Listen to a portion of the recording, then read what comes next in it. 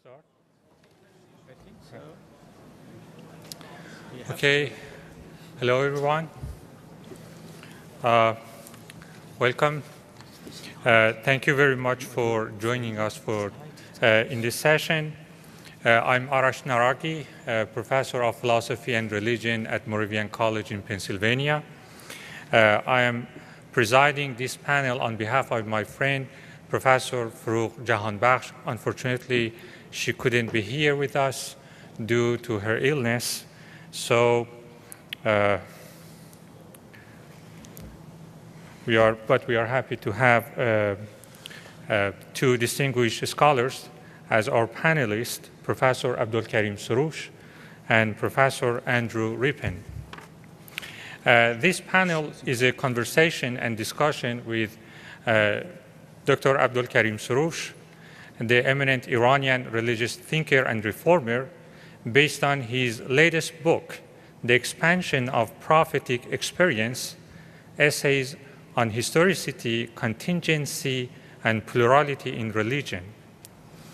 Uh, Dr. Soroush has been known for his epistemological theory of religion known as the contraction and expansion of religious knowledge and its application to Islamic democratic political theory and religious pluralism. His previous book, Reason, Freedom, and Democracy in Islam, applies this theory to plurality and historicity of understanding and interpretation of religion. And his new book, The Expansion of Prophetic Experience, presents some of his original theories about the fluidity of religion itself. This book, the latest book, treats the historicity of Prophet Muhammad's revelatory experience, including human and contextual influences on the nature of revelation and the genesis of the sacred text. Of course, the implication of this theory uh, are the implications are Uh, enormous, not only for Islamic theology and jurisprudence, but for reform in general. This book, as you might expect, has been highly controversial. Our other panelist, Professor Andrew Rippin, is a professor of history and former dean of the Faculty of Humanities at the University of Victoria. He received his PhD from McGill University with a dissertation on the Quranic occasions of revelation material.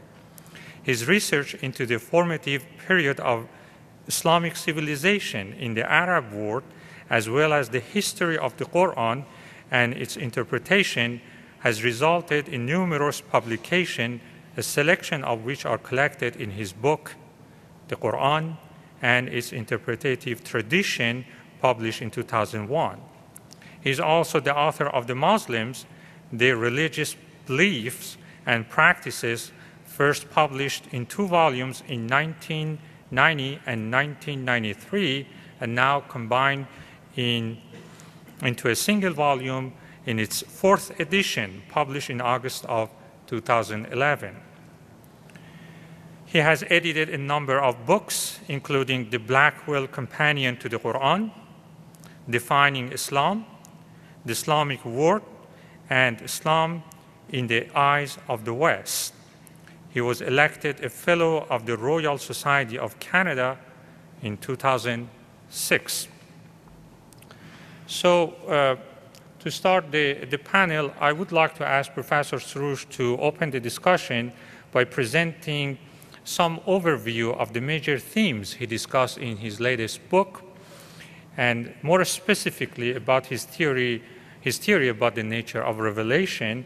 And then I would ask the Professor Rippin to share his comments and questions, and then we will open the floor uh, to the audience. Professor Soroush, please.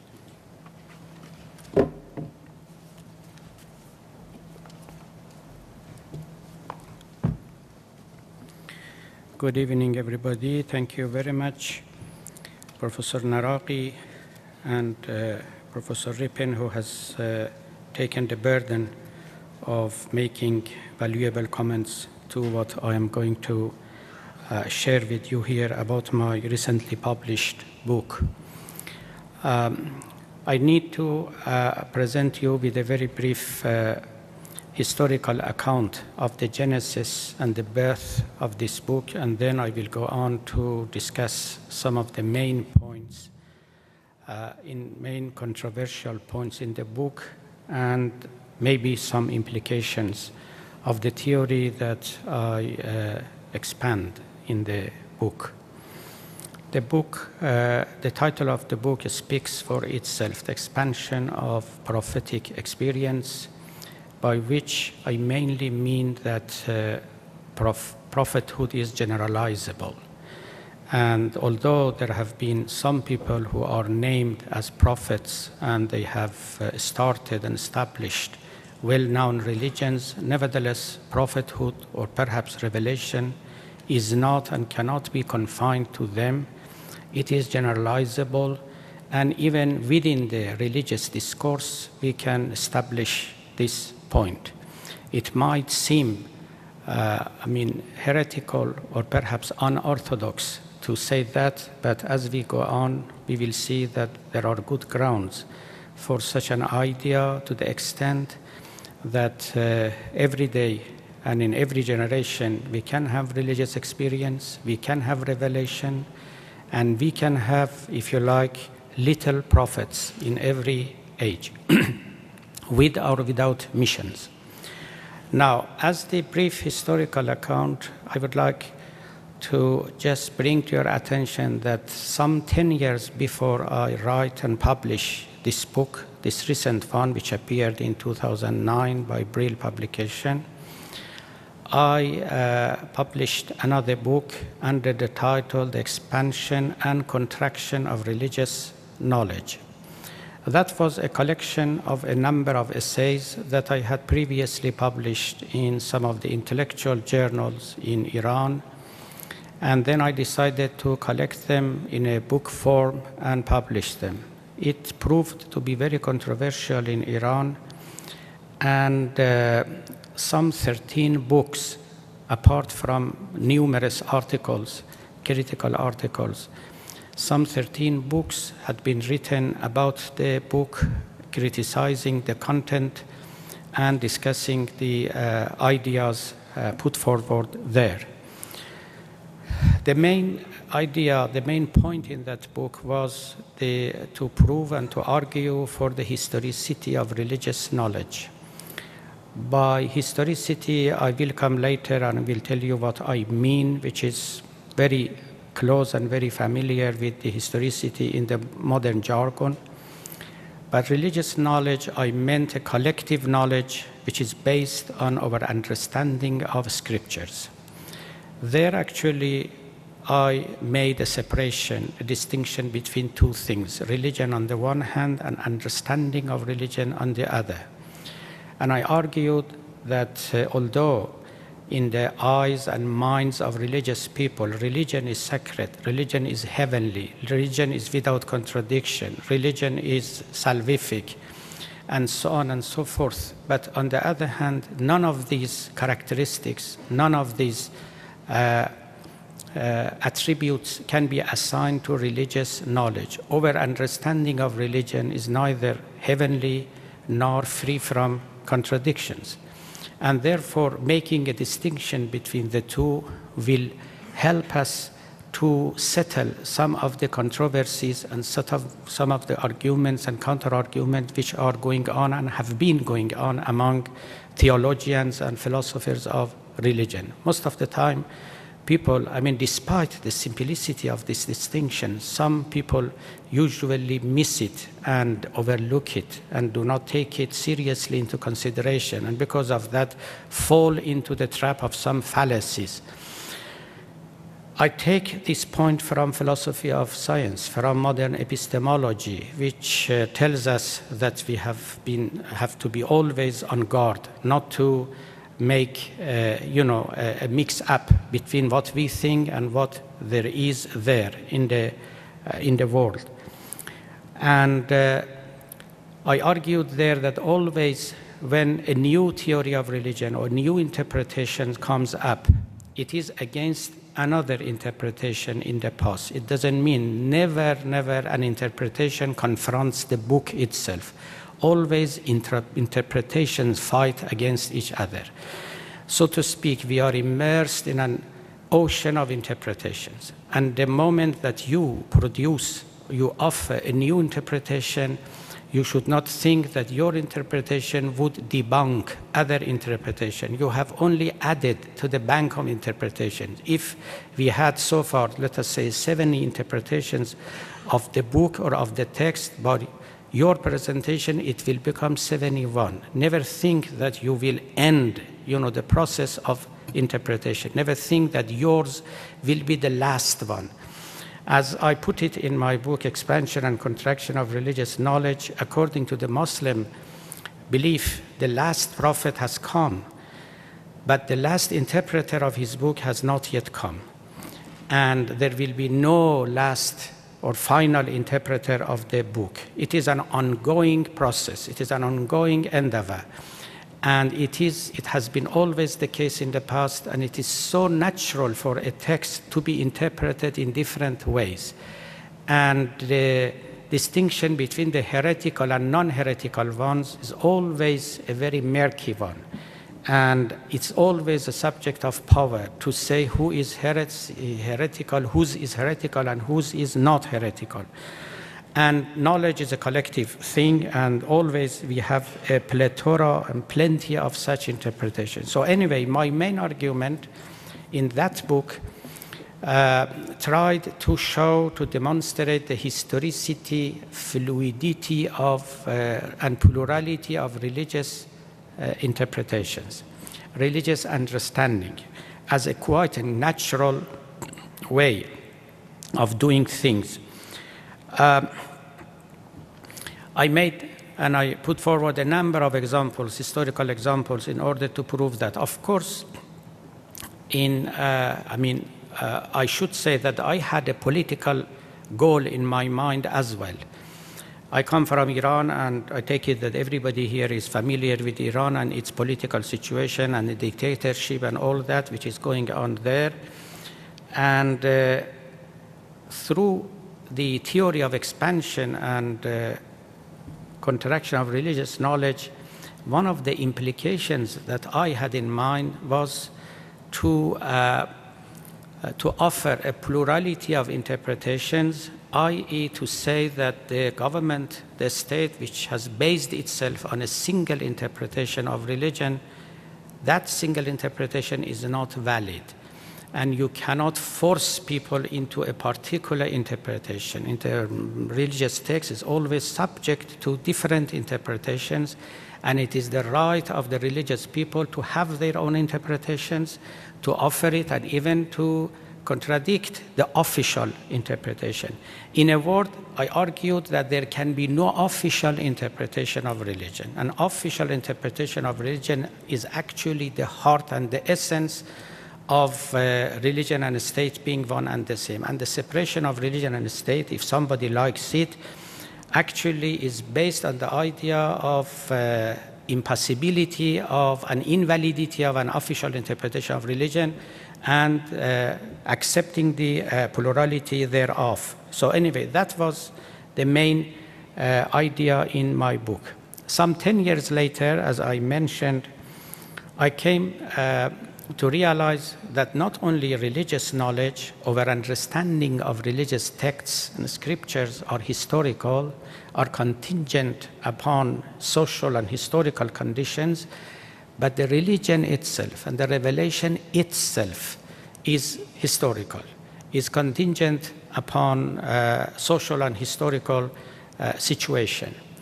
This even, of course, looked more heretical, more unorthodox, and uh, I had to, uh, first of all, pay much more attention to my critics and pay much more cost, of course, in order to, uh, you know, argue for that. Now, all these arguments and different papers and articles, I collected them in the book. Here you see it. And uh, I mean, uh, before this it was in Persian, and now you have it in English. Unfortunately, the one before, I mean, the expansion and contraction, has not yet been translated into English. But for those of you who can read Arabic, there is a good translation that I edited it myself. In Arabic, you can find it. It is published in Lebanon. Here in this book, actually, I argue for the contingency, historicality, or historicity of uh, revelation of prophethood itself. And as I mentioned, and I alluded to, it means a kind of generalization of prophethood. And by generalization, I mean that everybody virtually and potentially can become a prophet. And prophets were no exceptions. They had the same potentiality, but they actualized it. And if you like, you can also actualize it. But of course, there are different prophets prophets with mission, prophets without mission, and that's a different issue which I'm not going to go into it. I mainly look at it from the epistemological point of view. Now, an important point here I would like to make is that uh, for the students, the Western students of religion, and Orientalists, of course, they have argued uh, for the historicity of religion and understanding of religion for decades now. And uh, my position is somehow close to them, but there are differences, which I have to make absolutely clear. What are the differences? The differences are in presuppositions and in the method I adopt. The uh, Western Orientalist uh, uh, methodology of uh, uh, approaching religion and coming to the conclusion that perhaps revelation religion is historical is mainly empirical empirical in the sense that they look at the environment of the Prophet. They look at, let us say, in the case of Islam, in this uh, Arabia, the Arabian Peninsula. They look at the history of the life of Prophet and so on and so forth. And through this, they come to the conclusion that perhaps Islam, like any other religion, any other ideology for that matter, is a historical thing. I do not deny none of this. But one of the presuppositions of mainly of, uh, mainly of Orientalists is that they do not believe in the prophethood of the prophet. And they think that without such a belief, they are even more objective in their study. They can study it, you know, uh, religion much better than the people who are, you know, uh, already committed to a particular religion. There might be some exceptions, but this is, you know, a dominant view that uh, detachment means objectivity.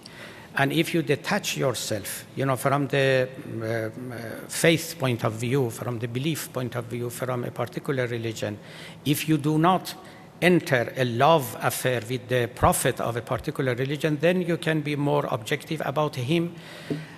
I personally sometimes put it this way that uh, religion, and this is my belief, of course, as religion is too important to be left to lovers alone religion is too important to be left to religious people alone. Of course, we need non lovers, we need non religious people and non believers to put forward their ideas and to tell us about their criticism, about their views about their religion. But nevertheless, you can be objective and you can be a faithful person. You can be a, a, a believer at the same time, a good and objective student of religion.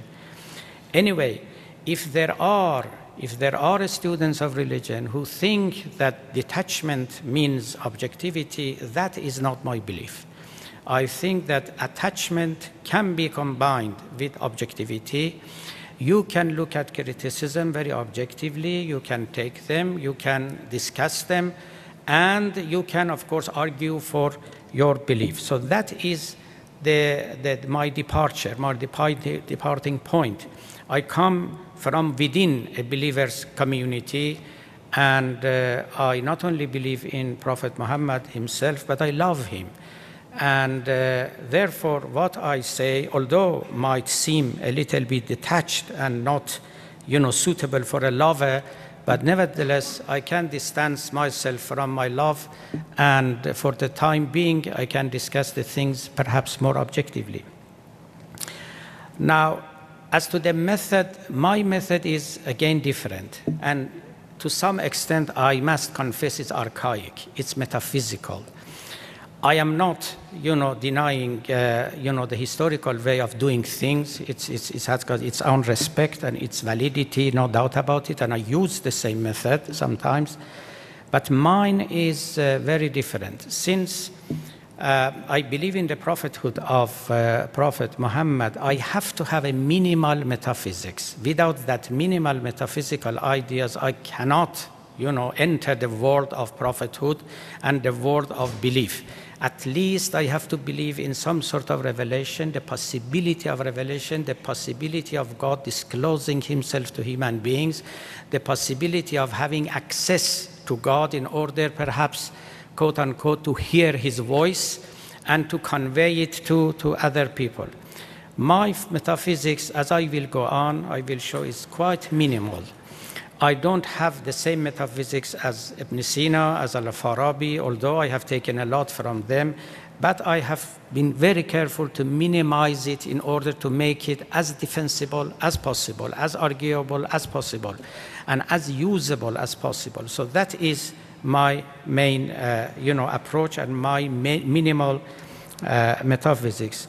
Although um, uh, it is not part of what I am going to discuss here, but just I uh, tell you in brackets that one of the articles in the book is about the maximality or minimality of religion. And there actually I say that my mission perhaps is to minimize or if you like to trim religion rather than to fatten it because it is it is you know um, again a distinction i usually make between different reformers. There are reformers who argue for a maximalist view of religion and religiosity, and there are reformers who argue for a minimalist view of religion and religiosity.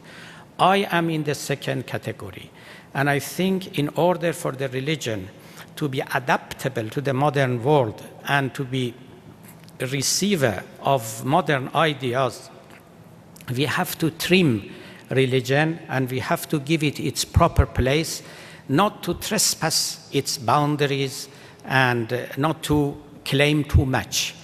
And uh, this I have taken it from Kant, the German philosopher, who said a maximalist God means no God.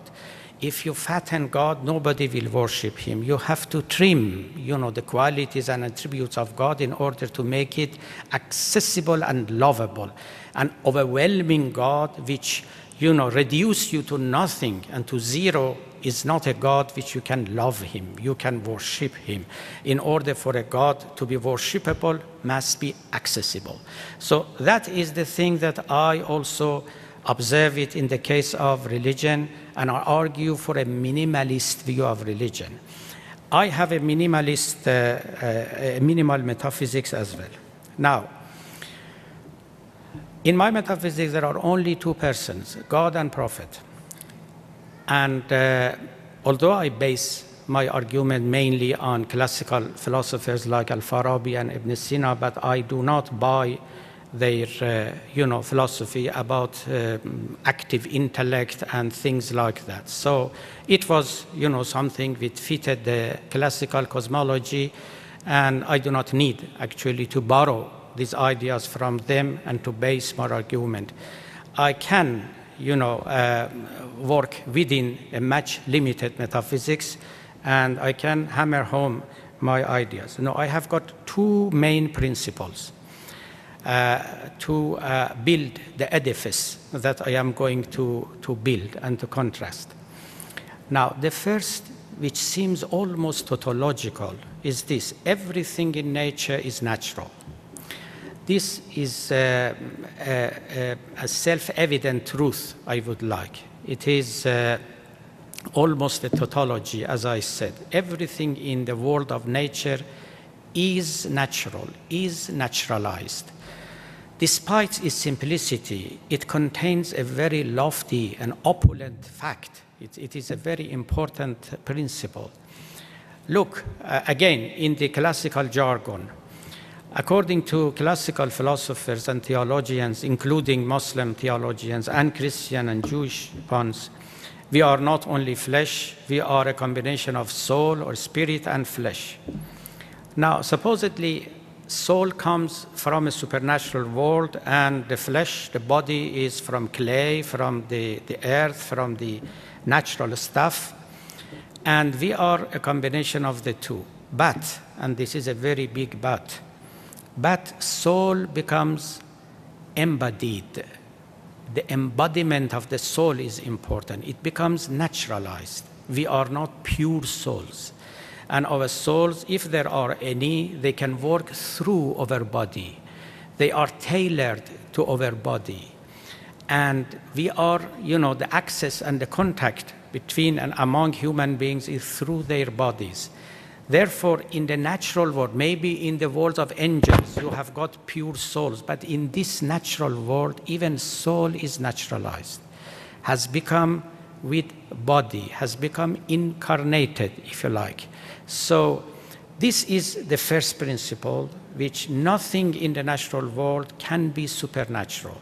Everything in the natural world is naturalized, even if it comes from the supernatural world. It has got to become natural in order to be able to step in the natural world. So, this is the gist of the first principle. Now, the second principle, which again I have taken it from philosoph- uh, Muslim philosophers, these principles I've taken from them, but uh, I have applied them to a case which they had not applied. So, this is the difference. You know, perhaps I was clever enough to generalize their uh, uh, principles and to find a new application for their principles. Now, you judge. The second principle is that whatever happens in the natural world is conditioned by time and matter. This has got a very well-known formula in Arabic, in Aristotelian philosophy. Ibn Sina makes a lot, a lot of this principle. Sadruddin Shirazi discuss it in length.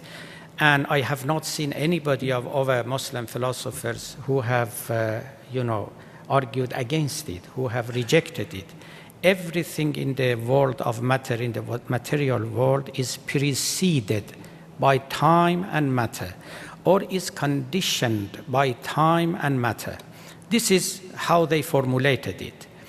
Of course, I mean, in a modern jargon, we can put it, you know, in, in a much clearer way, but that is exactly the translation of, uh, of the principle that uh, they have uh, argued for. كل حادث مسبوق بمادة ومدة. This is exactly the Arabic formula of the principle. Now, uh, if these two principles are taken together, I think my minimal metaphysics is, uh, I mean, virtually complete. And I need no further principle. I am a British empiricist, or at least being trained in their, you know, school.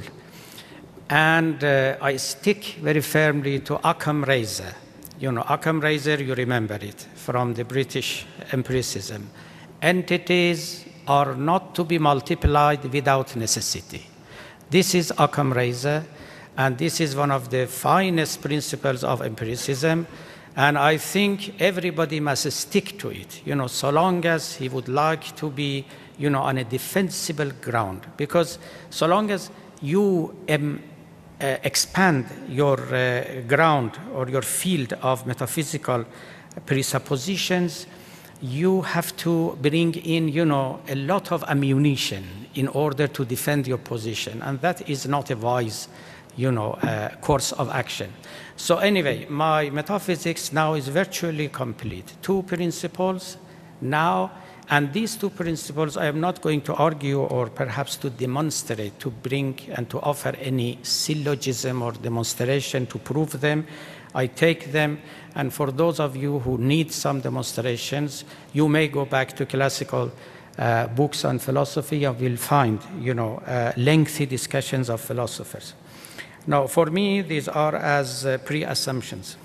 Now, the application that Ibn Sina did not think about it, or perhaps Al-Farabi did not think it, but it is necessarily the implication of these uh, two principles is this let us apply these principles to the event of revelation. Because after all, revelation is something which happens in the world of nature. Prophets are human beings. Quran is adamant that prophets are human beings because the people in the time of the prophet, as perhaps you have seen it in the Quran, one of their main objections against prophets was this that who are their prophets? How come that they are prophets, but at the same time they are human beings? They eat, they sleep, they drink, they marry, this and that. But as you know, it is you know, very explicit in the Quran that humanity has got such a huge capacity that can encompass prophethood as well. So the humanity is not too tight for prophethood. You can be at the same time a human being and a prophet. And there is no contradiction between humanity and prophethood. Eating, drinking, sleeping, and all these things can be, you know, something that a prophet may do it without contradicting his prophethood. So prophets are human beings, and all what happens to them happens in the world of nature. So, revelation, looking at it from the natural point of view, is a natural event. Absolutely natural. Now, let us apply the principle of everything that comes into the, uh, that steps in the natural world is a natural event. So, this is uh, so far, you know, well materialized. Now, as to the second thing, everything that happens in the world of nature is surrounded and conditioned by time and matter. This is exactly the idea of historicity. I mean, this is the jargon, we use it nowadays, but they did it in a different way, in a different formulation. But this is exactly the concept of historicality, historicity that we have it today. Everything that happens in this world of nature is historical, is surrounded and conditioned by time and matter. All right, if you accept this, then revelation is historical.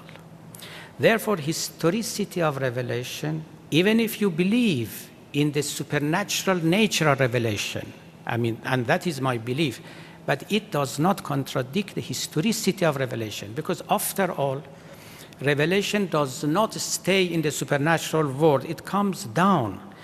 You remember the, uh, the analogy that Quran gives us for the revelation and many other things, which is a very apt analogy. Revelation is like raining. Rain comes from, let us say, heavens. It is unpolluted, uncontaminated when it is in the in clouds or in the heavens. But the moment that it you know falls on the ground, it becomes polluted. It becomes contaminated and it cannot be helped. You know, therefore, on the ground, you will never have a pure water, always a contaminated water. You will have, by the same token and by the same argument, let me say it boldly, you won't have a pure revelation on the earth, on the world of nature. It is always naturalized. It is always historicized. And because of this naturalization and historicization, it can become an object of uh, you know, scientific study, if you like. And we can make it the subject of our studies from the historical and natural point of view. This is my main argument in this book, and I have been, no, my time is up, and uh, I have to wrap up what I have uh, been saying. I hope I have uh, been able to convey to you, you know, clearly and lucidly what I had in mind, the argument that I uh, put forward for it.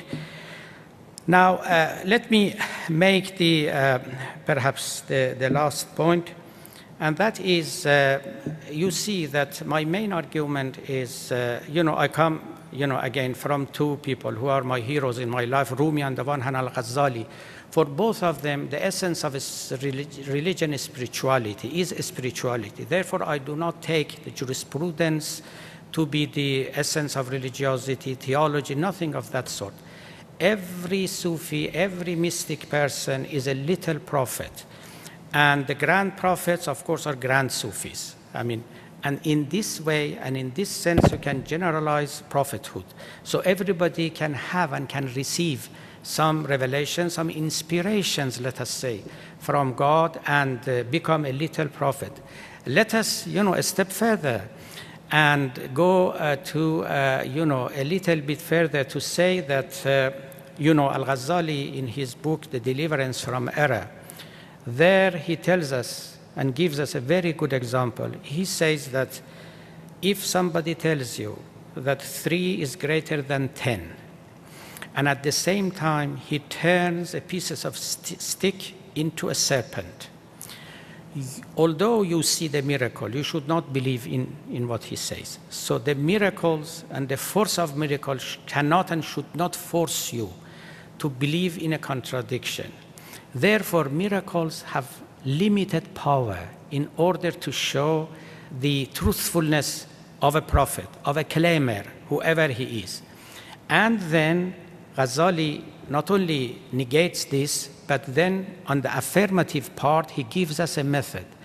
He says, in order to understand whether your partner, your friend is a good mathematician, you have to be a mathematician yourself. Then you can recognize whether he is a good mathematician or not. In order to recognize and realize that your friend is a good physician, you have to know some biology and physiology and medicine. And that's how he tells us that in order for you to recognize and to realize that such and such a person is a real, a true prophet, you have to be a prophet yourself, a little prophet. And that means that you have to have some mystical experiences in the world. Through that, you will be able to realize whether somebody is a true prophet or a false prophet. So do not base your faith or your belief on miracles because the force of miracle is very limited and according to rumi miracles are just to combat against the enemies. It is not to prove any truth any article of faith any principles whatsoever. So here is the, the, the main conclusion that uh, uh, not only uh, is generalizable but it is necessary in order for the believers to, uh, to, to have a full proof for the prophethood of a particular prophet. Uh, just uh, as uh, a matter of conclusion, I would like to say that uh, um, on the basis of what I said and on the basis of the historicity of religion and the language of religion and the mission of religion and the scripture itself, uh, I have argued in the book that the whole law, Islamic law, the whole Islamic law, from top to bottom, is accidental, is historical, in the sense that uh, it could have been absolutely different. It doesn't mean that we do not need any jurisprudence, but we have to realize that it was contingent upon the historical situation in the Arabia of the time of the Prophet and could have been absolutely different. Therefore, ijtihad takes absolutely new sense, a new meaning, and a new direction if we base ourselves on the idea of the expansion of prophetic experience. Okay, thank you very much for your attention, and uh, I am not going to make further expansion on my theory unless I receive some valuable comments on your part. Thank you very much.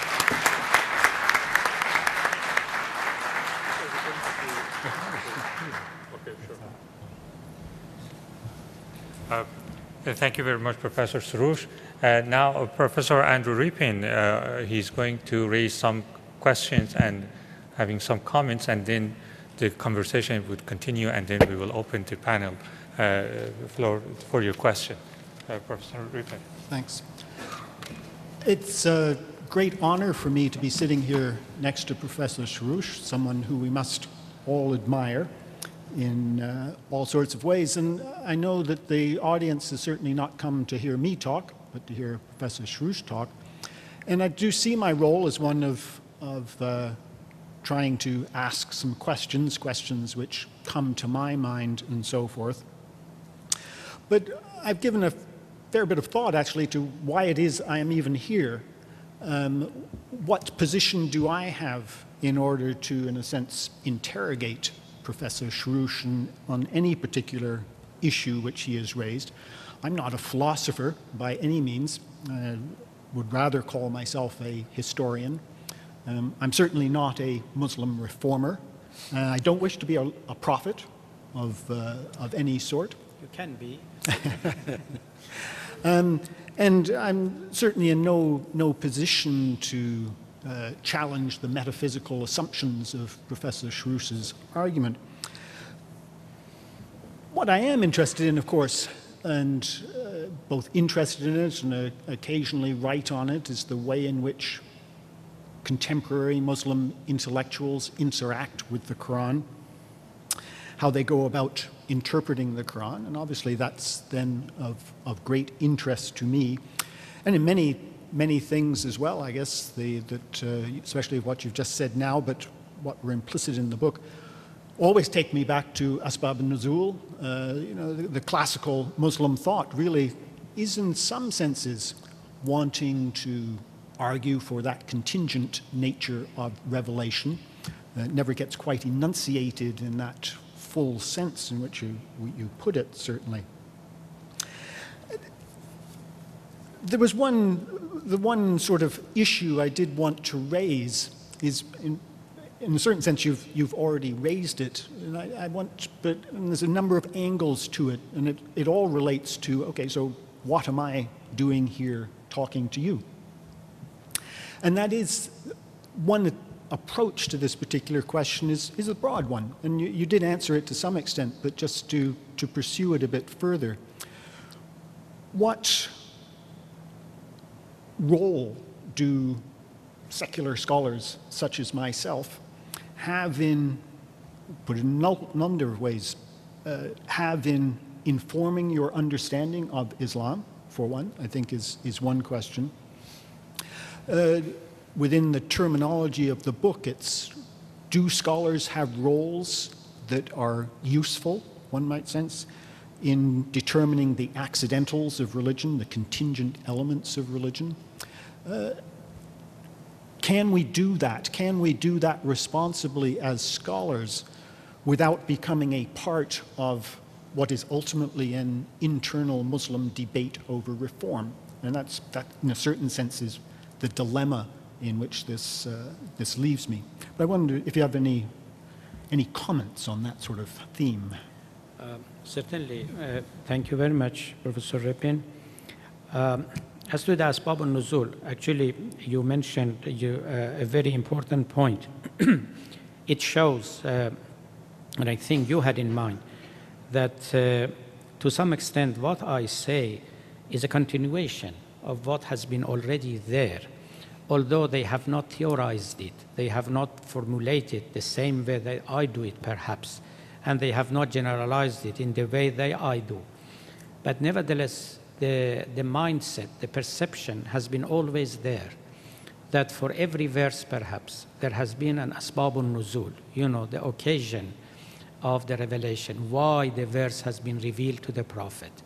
And from here, actually, I took and I got the idea of the contingency and accidentality in the, in the text, as I will come to, uh, the, uh, to explain it. So Asbabun Nuzul, yes, is, uh, although, I mean, there is a big difference and disagreement among commentators and mufassirun as to the validity and authenticity of Asbabun Nuzul, and uh, some have argued that most of them are post hoc in the sense that they have been fabricated, you know, later on after the Quran was revealed to the Prophet in order to make sense of the, uh, you know, scattered verses in the Quran which are not usually in a good sequence, not in a good order, and, uh, you know, textualizing them sometimes, you know, prove very difficult. So, um, like many other rawayat, Asbab al-Nuzul have been, you know, some of them at least, uh, um, uh you know, uh, made up for a particular purpose. They are ad hoc in, in a sense. But nevertheless, the idea has been there, of course. And uh, it is uh, very well known and very well received wisdom among Muslims that uh, the, the whole book, I mean, the Quran was not like, let us say, Ten Commandments of Moses. which just was revealed to him. It was uh, pre, uh, you know, shaped and pre-formed, and just Moses was the receiver of the Ten Commandments. It's what, it was not like this. Quran itself is a historical book in the sense that it was compiled in, uh, and it was, uh, you know, con- constituted within 23 years, revealed, you know, uh, bit by bit to the Prophet. And every bit has got its own reason, its own condition. And this is what usually is called asbab nuzul. But what is usually forgotten, what is usually ignored is that this asbab nuzul has got not only some relevance to the, uh, to the issue that is revealed to the prophet, but in a sense they caused the revelation. And this uh, idea, this concept of causality here is a very crucial one. What I argue for is this that it was not the case that even if those events did not happen, still the verses would have been revealed to the Prophet. That is not the case. Because contrary to some people, even Al-Ghazali, Quran did not have a pre-existent, you know, being in the, uh, in the Arsh, in the Lawh, and, and some other super, supernatural places. It was revealed to the Prophet, and the revelation was formed and emerged and came to existence exactly because of the event that happened in, in the world of nature. Therefore, nature has got, if you like, some causality relationship with the supernatural. And it causes, it is not always subordinate to the supernatural. Sometimes it forces the supernatural to do something, to respond, and to react. It is like, uh, you know, we have got some other concepts in, in religion like prayers. You pray something to God and you cause you know, the, the, the answering of God. So it is not an alien, you know, concept altogether. You cause supernatural world to answer to you, to respond, to react, you know. So this is how I, I think about it and I understand it. Therefore, Asbabun Nuzul has been always there, many books written about it and scattered places in commentaries on the Quran. You find them. Uh, but the full interpretation of the idea of Asbab al-Nuzul. the full interpretation of it has not been yet there. And I think you can, you know, take it and uh, interpret it in the way that I do it. I would like to add, you know, something to this particular question, and that is uh, Waliullah Dehlavi, who lived in 18th century India, and perhaps he was the pioneer and the first person not only to look into the Asbab nuzul but also on the sociology of the, uh, uh, you know, Arabia, of the sociology and psychology of the Arab people of the time of the Prophet. He's very explicit on that. He was a jurist. He was a Sufi. He was one of the mashayikh. You know, there is no single doubt in his sincerity from the point of view of uh, being a true believer. But nevertheless, his interpretation and his explanation of the uh, of the event, of the phenomenon of revelation is quite interesting. What he says is this that even the psychology of the Arab people was relevant to the revelation. If they were different, if their psyche were different, the revelation which came to the Prophet would have been different, you know. And this also has got its own ground and basis in the Quran itself. When it says, لا يكلف الله نفسا إلا وسعها The uh, duties and obligations are, are tailored to the ability of people. So if we were, you know, more able, the duties would have become heavier. You know, instead of praying 17 rak'at five times a day, we would have been, you know, uh, duty bound and forced to perhaps pray 50 uh, times a day. So even the obligations, and this shows the historicity of, uh, of revelation. Historicity in the sense that it is absolutely conditioned with the ability, with the social conditions, psychological conditions of the, pro- of the people that the revelation addressed them at first. And then, of course, then we have to translate it into our cultural situation nowadays and so on. So this is the idea of asbab al-nuzul. But coming to the uh, perhaps more important question, the role of secular um, students of Quran, yes, in informing uh, the ideas of reformers or perhaps in uh, determining what are contingent and what are not contingent or necessary in the Quran. The role is, is, is great, is huge, is important. And I, uh, you know, before I, I come to that, I have to just say a few words about the contingent and the necessary. This is, again, one of the articles, one of the chapters in the book. There are argue that in every book, and especially in scriptures, in the holy books, uh, not everything is on a par with another one. Not everything is on the same footing. There are differences uh, among the different verses of the Quran. Let us say some are more important than others. It is, it is against the common wisdom about the scripture. They think that since all come from God, then they have come all the same value, the same essence, the same importance, and everything. But that is not the case. At least in the past, at least in the past, our commentators and mufassirin had argued that from the point of view of eloquence, you know, some of the verses are much more eloquent than others. This, you find it in the, uh, you know, commentaries of Muslim commentators in the past. And that came to them as a very, very plausible, acceptable position. And uh, some of them actually were, you know, masters in, in, in ilm al-balagha. And therefore, for them, it was uh, quite valid to make such a, judge, such a judgment. So there is an unevenness you know, in, in the verses of the Quran, no doubt about it, at least from the point of view of eloquence. But it is not only uh, you know, from this point. There are many other points of view that you can bring in and you can further your knowledge, your analysis of the text. And this applies not only to the Quran, but to any text, any scripture, any holy book. But here, of course, the object of study is Quran. Quran itself tells us that there are verses which are muhkamat and there are verses which are mutashabihat, the clear ones and the unclear ones. Okay, I mean to, to, to simplify it. So this is, uh, first of all, one of the divisions and categorizations that already you can find in the Quran. And uh, now, uh, what I suggest is this, that uh, you can make a new division among the verses of the Quran. Some are accidental or contingent, if you like, and some are necessary or essential. So this is something that I have suggested. I think if we believe in the historicity of the Quran, I mean, this comes again as almost a, a, a tautology, a self-evident idea. Let me give you some examples in order to substantiate the idea. The Prophet Muhammad had many enemies, and uh, there are some verses in the Quran that mention has been made of some of the enemies, even by name.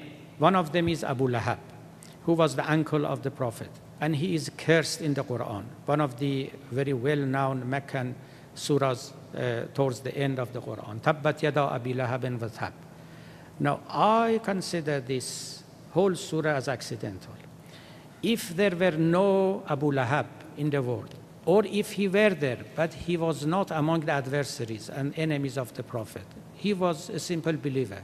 No mention of him would have come in the Quran. Yes?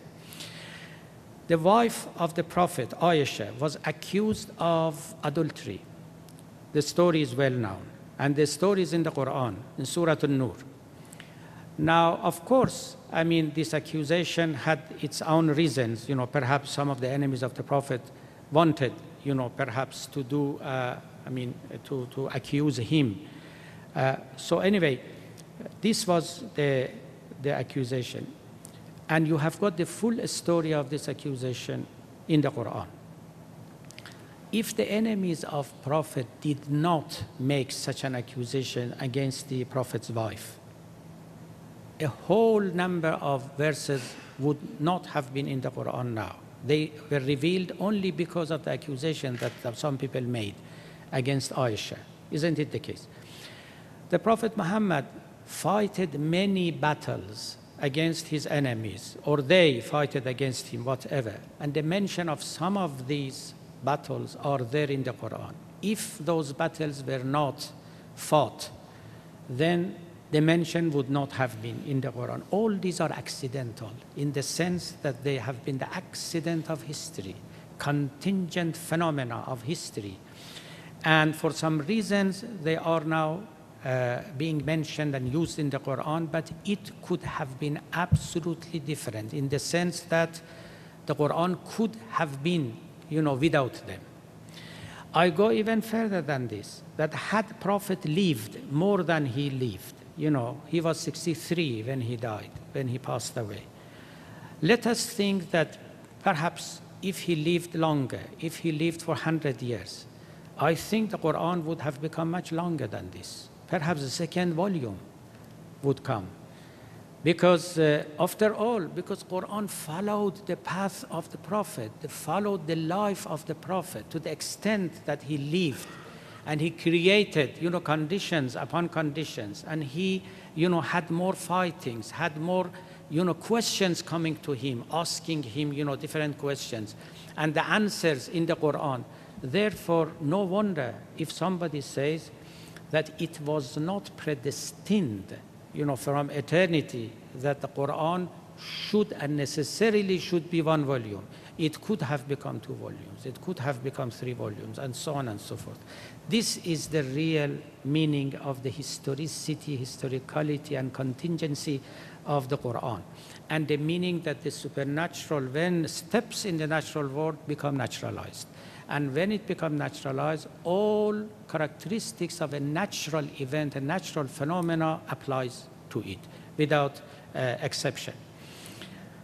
So this is the meaning of the contingent and essential beings. So most of what you have in the Quran are accidentals.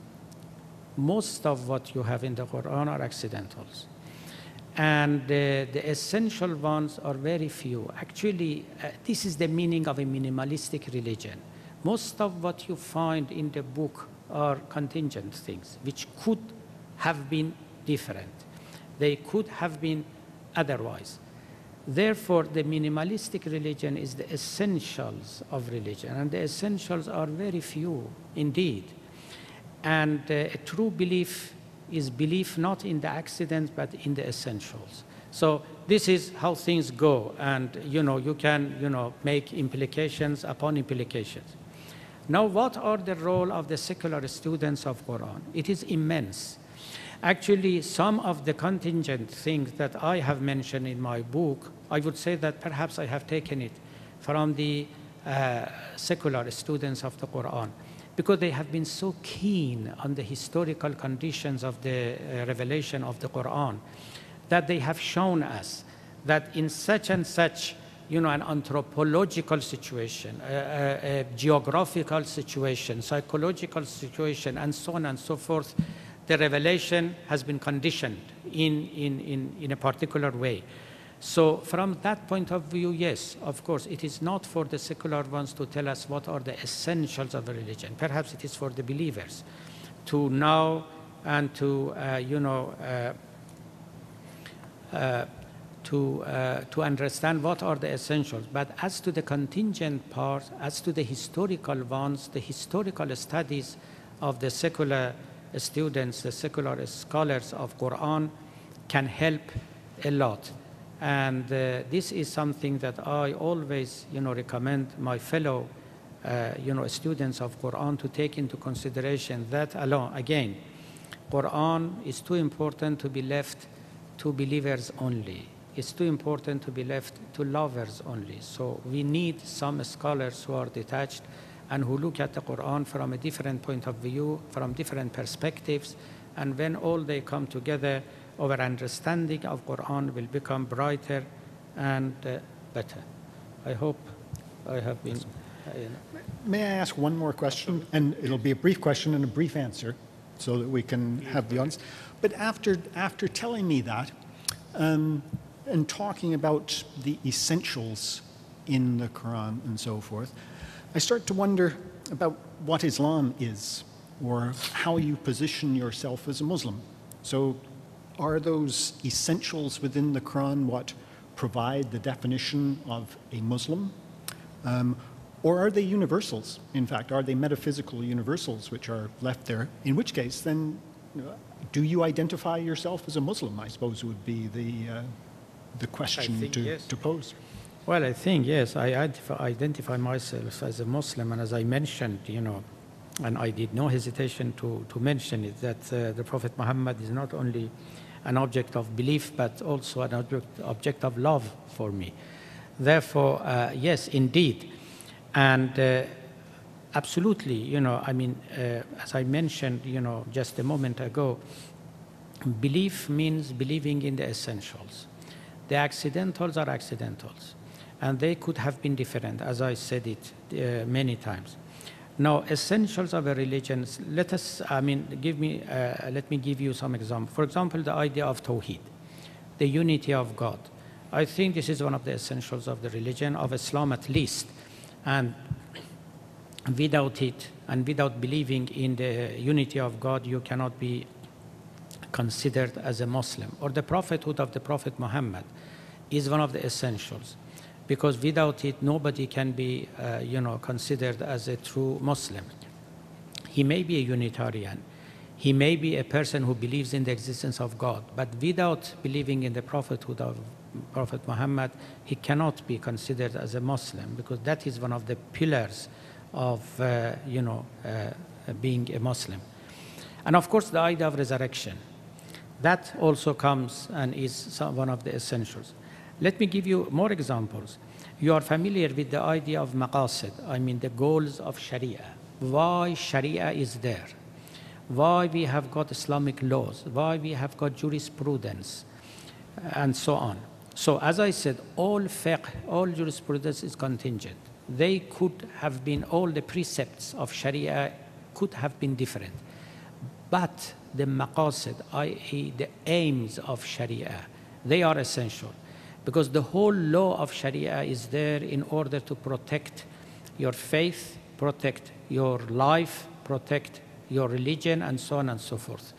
And this has been done, you know, for about 10 centuries now. You know, the uh, uh, Juwayni, the teacher of Al-Ghazali, Al-Ghazali himself, and, and better, I mean, best of all by Shatibi, actually, all this has been discussed very uh, extensively, that there are aims, you know, behind the uh, precepts of Sharia, of law.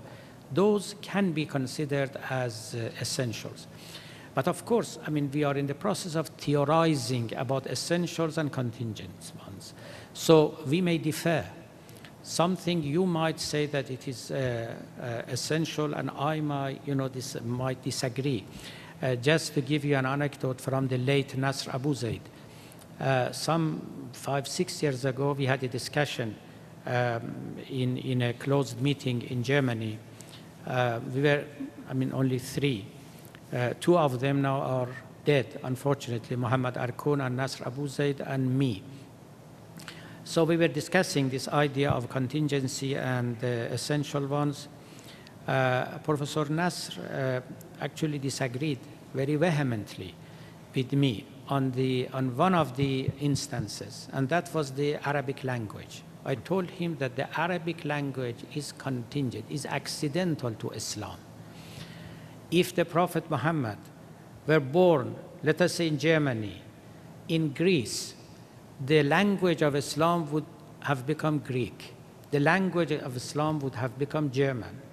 So therefore it is contingent and it is a limitation because the Prophet Muhammad or perhaps God was somehow forced to reveal what he had in mind in Arabic.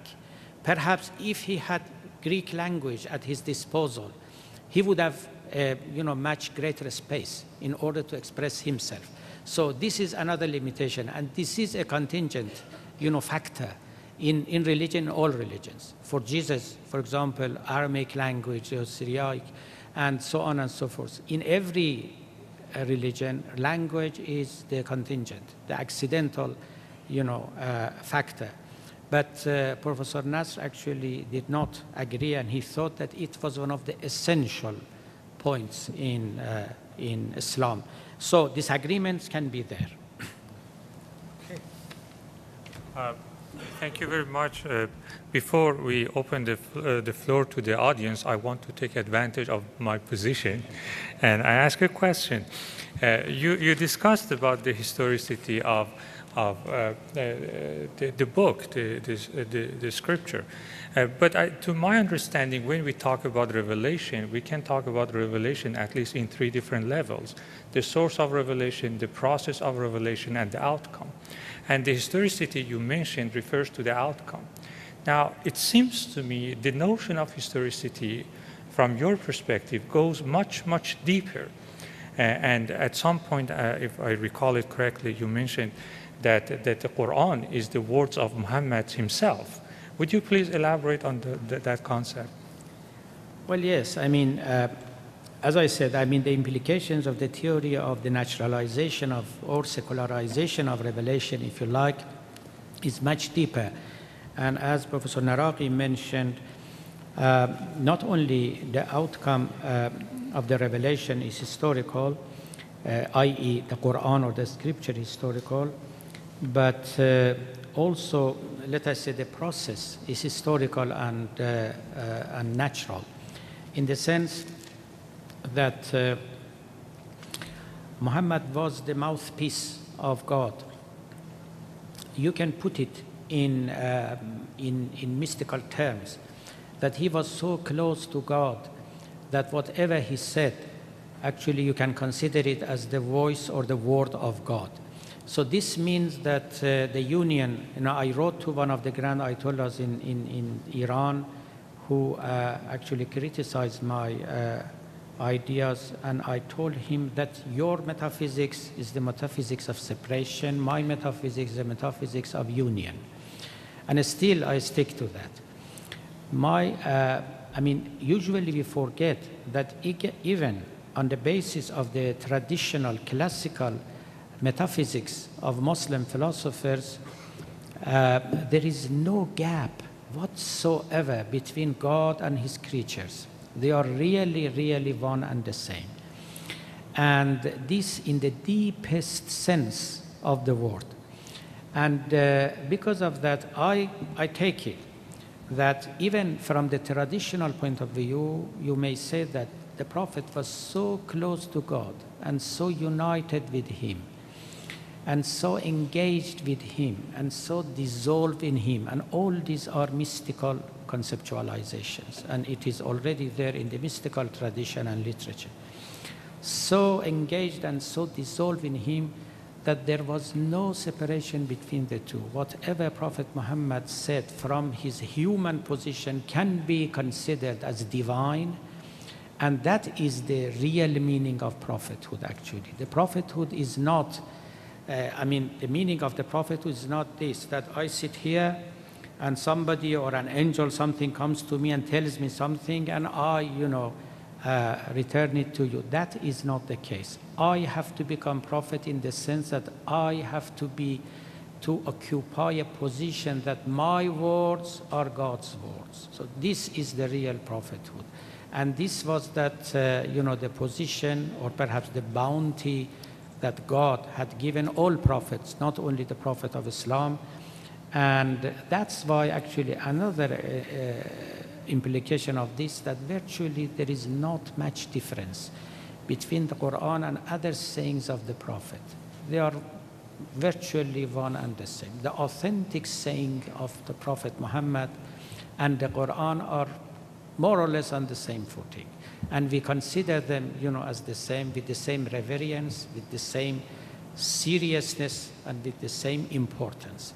So uh, although part of it is called Quran and the part of it are not called Quran, but from the point of view of uh, you know historical understanding and a new explanation of revelation, we can consider them all as you know unique and uh, monotonous fabric without much difference between them. This is another you know implication of this theory. Thank you. Now times for questions. If I may, uh, would you please, if you have any question, come uh, to the front and use the microphone, and please introduce yourself before you ask your question. Thank you. Thank you. Please go ahead. Uh, Omid Safi from University of North Carolina. Thank you again, Ustad, for being here, and um, we're so looking forward to having you back again. I will keep my questions short and sweet. Hope other people will as well, so that we have more chance to hear from you. Um, so I have a brief two-part question. Um, you spoke of your own position as a British empiricist, even though you're also drawing on the philosophical tradition, the mystical tradition. I would love to hear a little more about the way in which the mystical tradition, in particular, Maulana uh, being prominent among them, has helped shape this understanding of prophethood uh, as, as, as you um, have defined it. And uh, the second part of the question is actually a philosophical exercise, but with a very real political relevance. You spoke about the ways in which, had the Prophet been born in Greece and he would have spoken Greek, how would have shaped the Quran differently, and, and so forth. I'm wondering if we can apply that same historicity to the turbulent and difficult situation that you have been in and have paid an incredible price for. Had you not been in a situation where the state operates through the most brutal and oppressive apparatus, and we're instead living in a situation, a hypothetical situation, where the state is not involved in implementing a specific understanding of religion, would you feel the same urgency to historicize and minimize the practice of religion? Thank you, Ustad. Okay. Shall I? Please um, go ahead. um,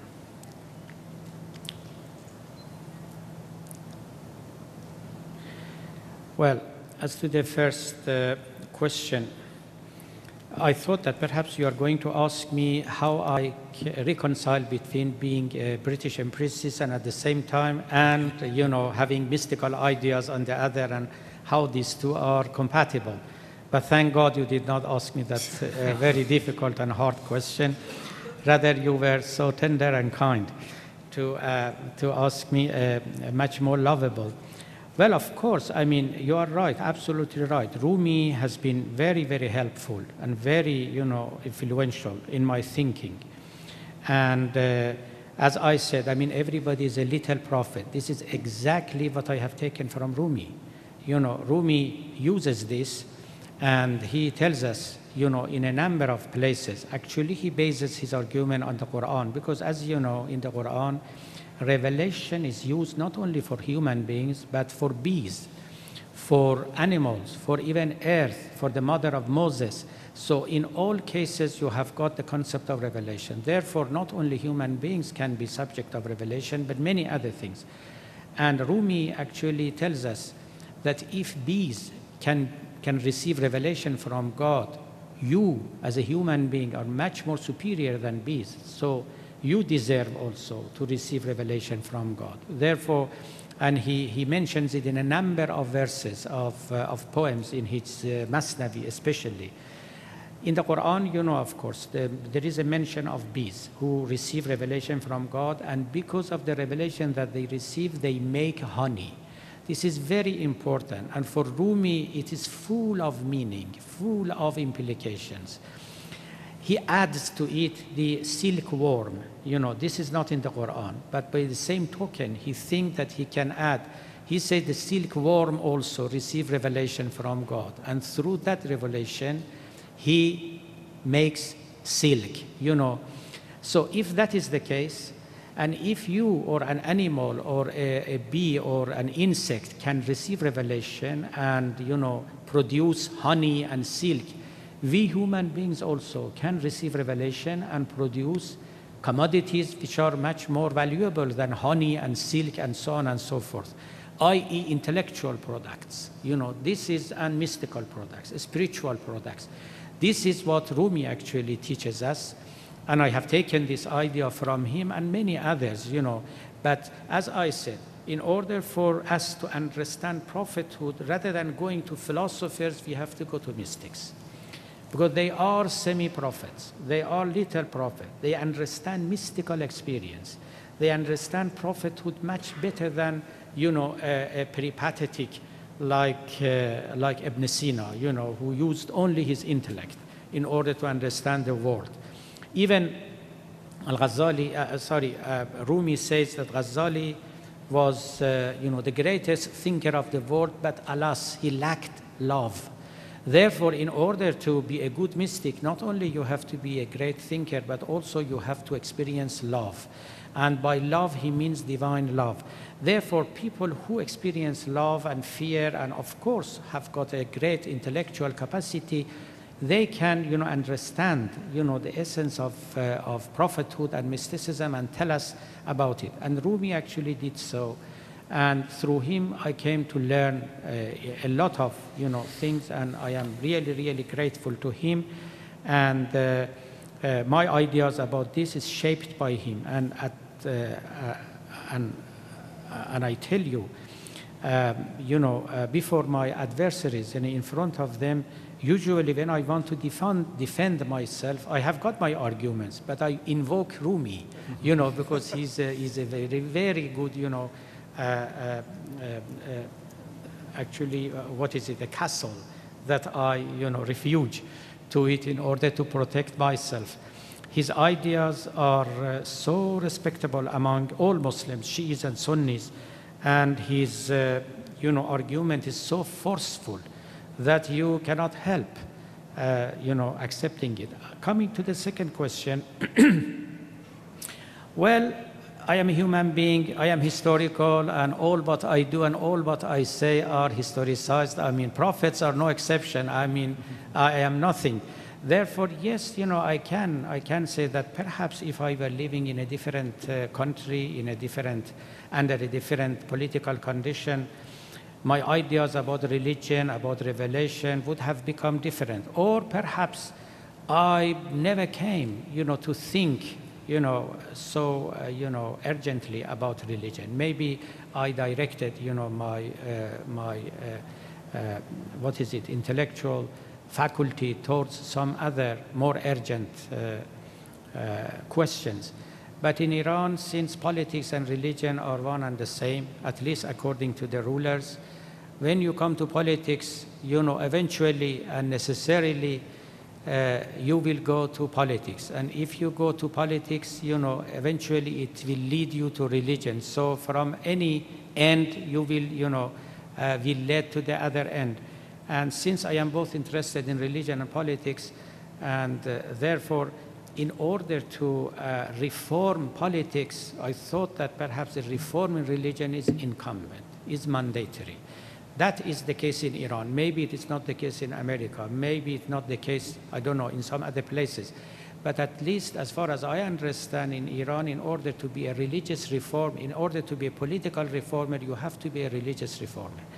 And the moment that you become a religious reformer, the politics, I mean, inevitably will be influenced by your ideas in religion. That's the way that uh, you know uh, I approach you know both religion and politics. yes, sir, please. Thank you for all your inspiring work. I'm Mark Berkson from Hamline University. Um, I just want to follow up on your statement that all of us can be little prophets in the sense of, of having these spiritual experiences, receiving revelation.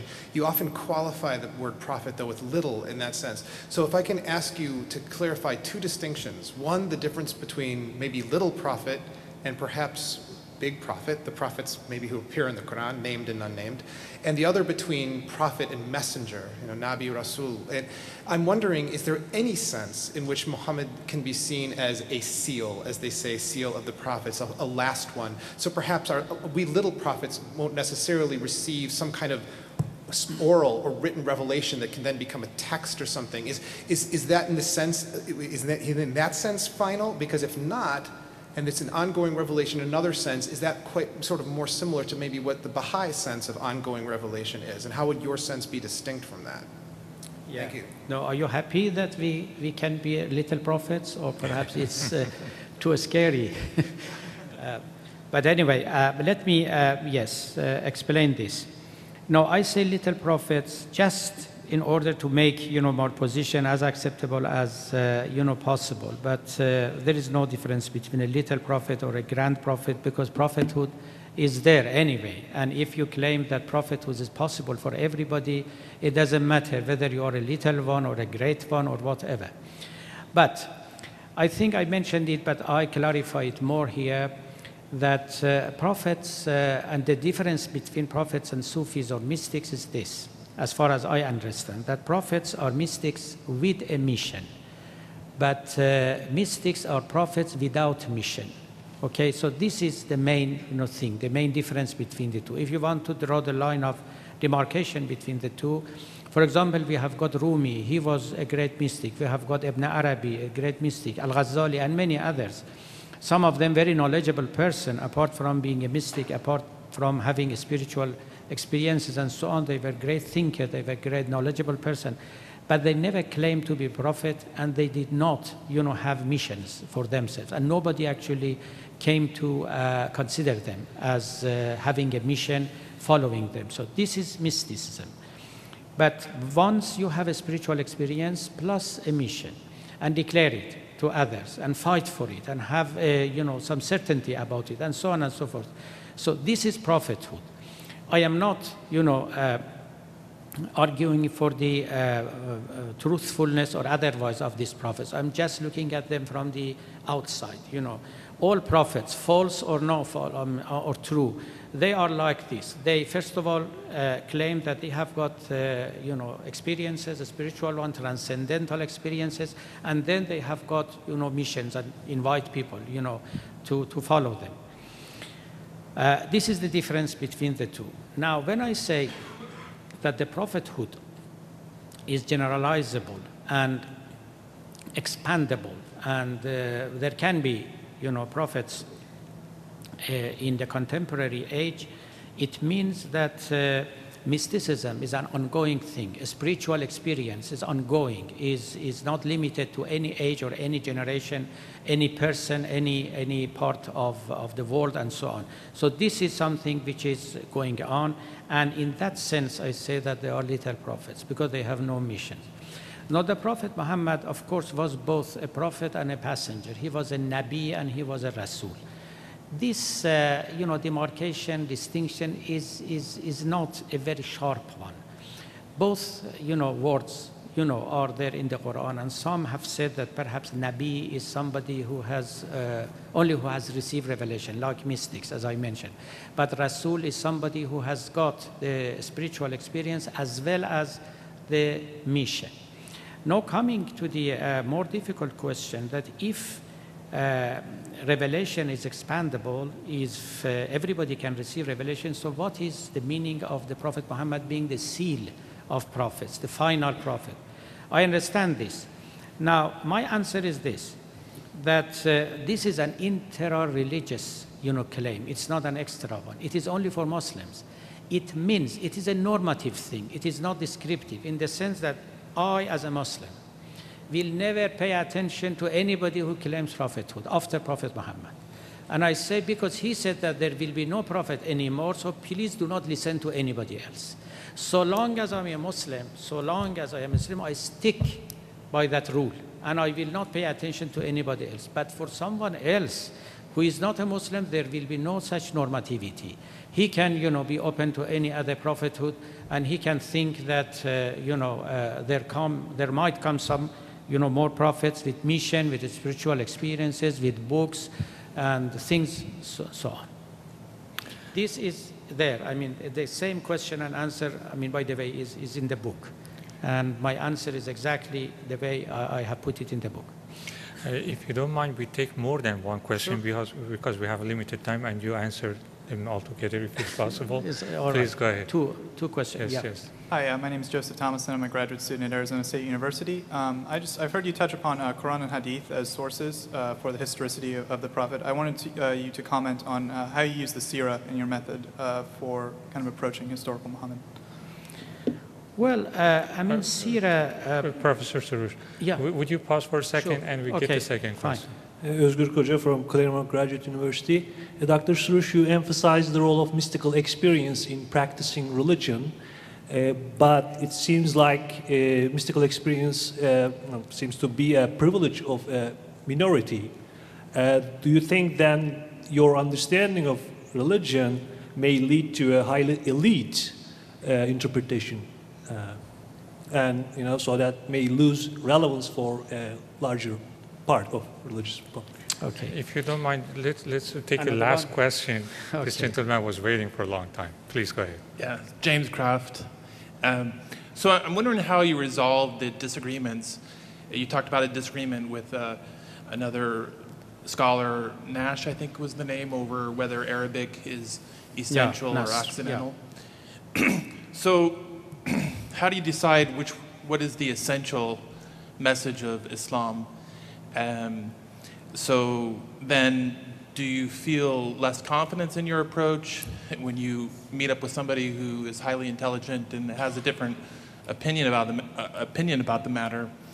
Uh, so, what kind of strategies, methods do you use in order to support your claim that Arab- Arabic is not essential, or that the ta- uh, the Tawhid is essential? So, is it just a matter of intuition, or is it something more? So your opponent says, hey, I've prayed a lot about this, thought a lot about it, and I believe the opposite of what you believe about what's essential to Islam. How do you resolve these kind of conflicts? Well, okay, as to the first question, the Sira and the place of Sira in my studies. Well, I mean, Sira is part of history. You know, it's written some uh, 150 years after the life of the Prophet. So, um, um, you know, you can have your uh, doubts, your analysis, your uh, whatever. I mean, about the Sira. Of course, it is not the only book, uh, Sirat ibn Hisham, I mean, that is written about the Prophet, but more or less most of the books, or perhaps all of them that has been written about the biography of the Prophet Muhammad are at least as late as 100 years after him. So um, we have to be very, very cautious about using both hadith and sirah. And here also we have to take a very minimalist approach, you know, and only the essentials, those parts which are, you know, absolutely certain or more plausible, and taken, you know, with, with other, you know, historical evidence, such as geographical and things, tablets which come to us, you know, on stone and so on.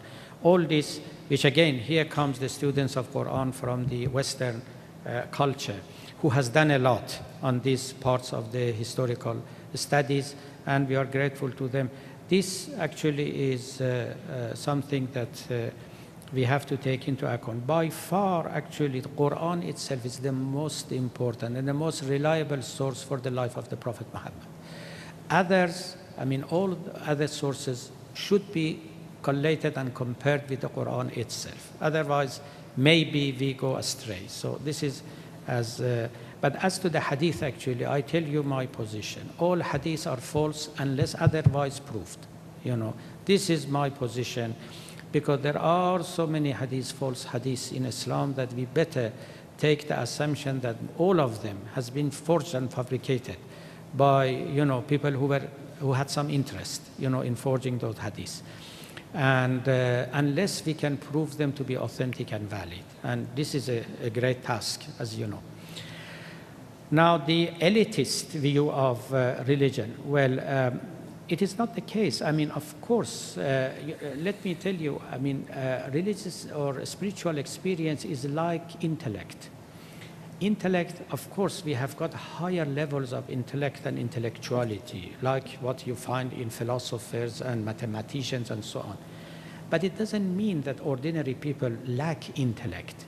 They do, because intellect is a matter of degrees. You know, I have got a degree of intellect, you have, and others and others. It is exactly like a spiritual uh, experience. Higher stations of spirituality, of course, can be found, you know, uh, with uh, people like Rumi and others.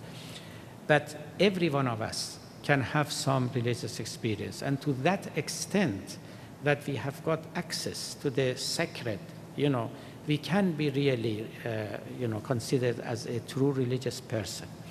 Following the Prophet is different from sharing the experience of the Prophet. These are two different things. Rumi and Al Ghazali actually invite us not only to follow the Prophet in what he says and in what he enjoys or in what he prohibits us to do and so on. That is the lowest rank, the lowest you know level, lowest order of uh, uh, you know being a believer. No, you have got you have got higher orders, and that higher orders is to share the experience of the Prophet. And this is something that every religious person should try, you know, to reach and to do and to share. So it is not an elitist, uh, you know, position. It says that, of course, I mean, it is a ladder.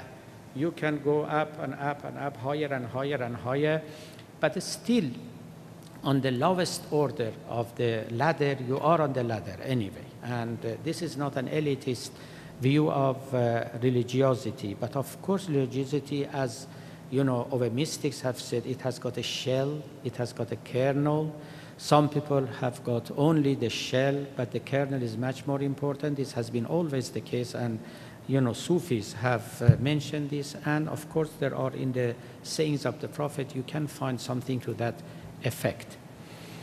Now, coming to uh, conflict resolution that you uh, uh asked. Well, I mean, the disagreement can, you know, can never be resolved, but I have got my own method. You know, mine and uh, Professor Nasr Abu Zaid, yes, we did not have enough time, you know, to continue our discussion and perhaps to resolve this disagreement.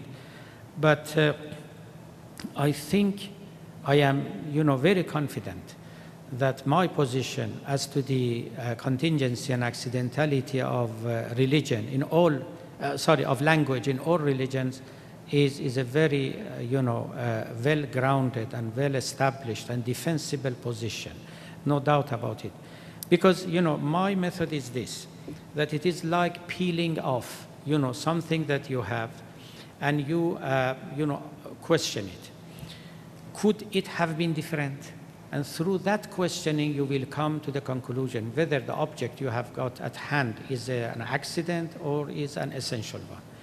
Could the, uh, you know, Islam be Islam without the idea of Tawheed? It cannot be. Because the idea of Tawheed is a main pillar the main, main pillar. If you study the book, Quran, if you go to the sayings of the Prophet, to the practice of Muslims, and wherever you go, I mean, this is one thing that you will never miss it. You know, everybody accept it as the pillar. But could, I mean, the, the language of religion be different? I mean, if the Prophet were a Persian, let us say. I mean, no doubt, because uh, God had different prophets with different languages. So the language cannot be as an essential part of, uh, and as you see, for example, even in the Quran, some of the uh, uh, commentators in the past thought that perhaps Quran is purely Arabic. But now we know, again, through the uh, you know, efforts of uh, secular students of Quran, that about 240, 250 words are in the Quran which are non-Arabic. You see, and that was, you know, prevalent in the time of the Prophet among the Arabs, you know, through their, you know, communication with other people and other nations. Greek, Persian, there are so many Persian words in the Quran, Greek, Abyssinian, Aramaic, and so on and so forth. So, I mean, it is something which is quite, quite, you know, uh, easily conceivable that if the Prophet were born in a different place, in a different society, uh, the language would have become different not only the language, because language is, uh, you know, uh, has got a form and a content. The language of Greek philosophy is a very rich language. And if that language were accessible to Prophet Muhammad, you know, his language, the language of Quran, I think would have become much richer, much more philosophical. It is not only the words that could you know, find their way in the scripture, but only also the concepts, the meanings. And from that point of view, the contingency goes deep, not only in the precepts and in the you know, law and sharia, goes deep into the meanings and into the you know, theological positions and standpoints of Prophet Muhammad. But that is inevitable because everything in the world of nature is naturalized if Prophet Muhammad were born in Greece and his Quran would become, and of course at that time it would not have been called Quran, a different name, and uh, become Greek, I mean, the conceptualization of what he wanted to tell us would become different. But then, of course, again, it was a limitation, the Greek language. Because compared, let us say, with Persian, Persian is a very poetical language. Maybe it would have given him a, a much better space to maneuver and to, you know, uh, convey to us, you know, his, uh, his, his ideas. So this is exactly the meaning of whatever you have in this nature is naturalized. Uh, be it the revelation, the spirit of human beings, or whatever uh, you like, you name it. Okay, I wish we had uh, more time to continue this conversation. Unfortunately, time is up. Thank you, Dr. Soroush. Thank you, Dr. Rippin. And thank you, everyone, for joining us. Good evening.